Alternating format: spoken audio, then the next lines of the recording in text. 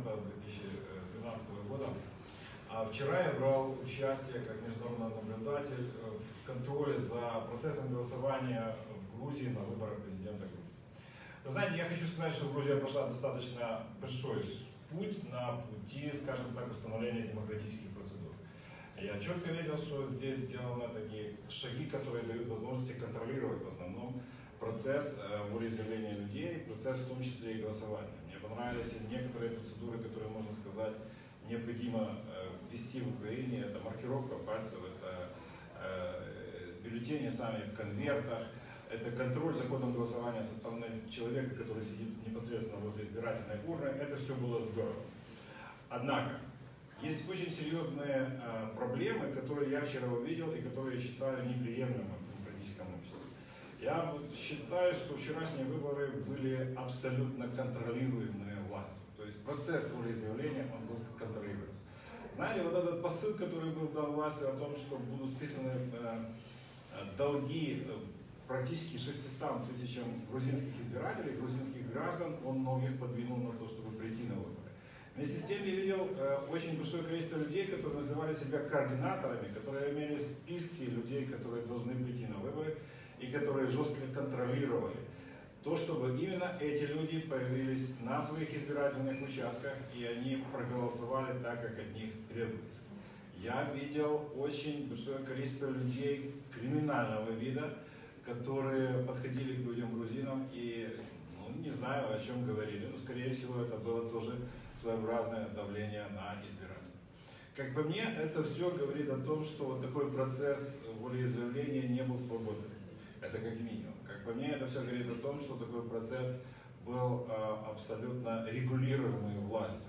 Не знаю, позволяет ли грузинское законодательство иметь такие списки свободно на руках у граждан, у которых есть персональные данные практически всех э, людей, которые приходят на избирательные участки, но как по мне это тоже нарушение прав граждан, в том числе на тайну волеизъявления. Вот это серьезные проблемы, которые ставят под сомнение легитимность такого серьезного, большого и важного выбора а, граждан Грузии. Вот такая моя позиция. Any questions? Next, next one. Next one, please. Yes. So, uh, Okay, uh, I will be, uh, go to the airport to fly to the, to the Ukraine and uh, I will go now. Okay, thank you very Thank much you very for, much, for your attention. thank you.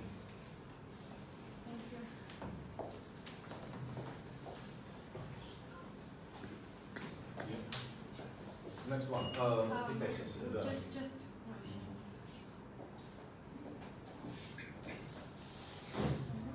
Виталий Куприй, народный депутат Украины. Буду говорить на русском, чтобы больше поняла. If you have any questions in English, no problems, I can answer. Э, Для меня было очень важно, э, чтобы в Грузии э, были демократические выборы.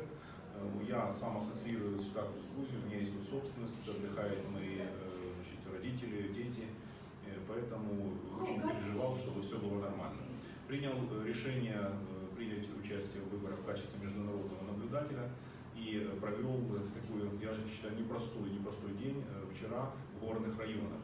Это районы, там, где живут этнические армяне, возле значит, Тур- Турции и Армянии, Армении, приблизительно, приблизительно где-то 40 километров э, от границы.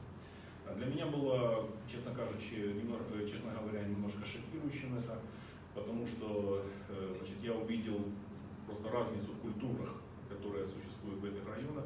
И я увидел, что э, на многих избирательных комиссиях, там были мои, мои помощники, моя, моя жена, значит, очень часто и шло обсуждение избирательного процесса, процедур армянским языком.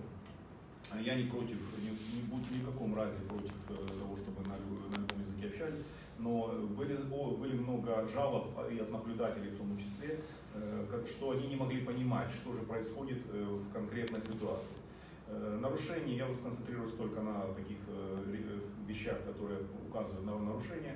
Нарушений э, небольших э, было достаточно много, ну, это как бы бюллетень открытый, э, когда показывался, и мы делали, как наблюдатели, свои замечания, вроде бы ре- реакция была, но одно из самых серьезных, мой коллега уже говорил об этом, я считаю, что на многих участках криминалитет фактически контролировал ход голосования. Я, для, для Украины это как бы дико. Если у нас появляются люди такой вот вот без каких-то причин э, собираются вместе, на моем участке это было приблизительно там, до 30 человек, вот, то однозначно законопослушный гражданин, который хочет проголосовать, он, э, когда заходит, э, значит, ощущает давление определенное. По моим значит, сни- снимкам я снимал и на видео, и фото делал, и у меня эти доказательства есть. Вот эти люди, они вмешивались значит, в ход голосования только за э, сами- самим избирательным участком. Что они делали? Я так понимаю, что район, в котором э, они жили, значит, он э, все друг друга знают. Это приблизительно полтора тысячи, полтора тысячи избирателей на том участке, где я был. Они, когда человек шел на выборы, кто-то из этой толпы отзывал этого человека или семью, или там как-то, и начинал входить с ними в определенные разговоры.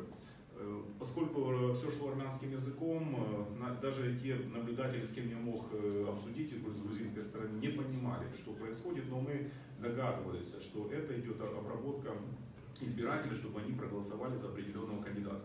Я считаю, что это по нарушение э, значит, права на волеизъявление, что это давление. И, э, к сожалению, я когда консультировался, э, хотел вызвать полицию, ну, сказали, у нас так не принято, Если это так, то я считаю, что нужно вносить э, необходимые изменения, нужно этот процесс э, делать по-другому. Э, На остальных участках, где была моя, значит, моя жена, там мне приходилось даже с моими коллег- коллегами приходить и вмешиваться в процесс, потому что неуважительно вели по отношению к женщине руководители комиссии.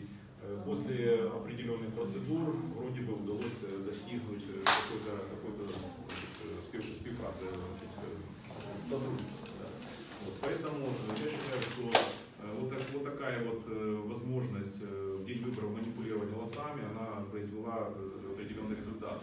Ну, э, я вам скажу пример. Там, где удалось эти группы убрать, там, где была моя супруга, там э, результат в 10% приблизительно, там 8 отличался от результата э, значит, на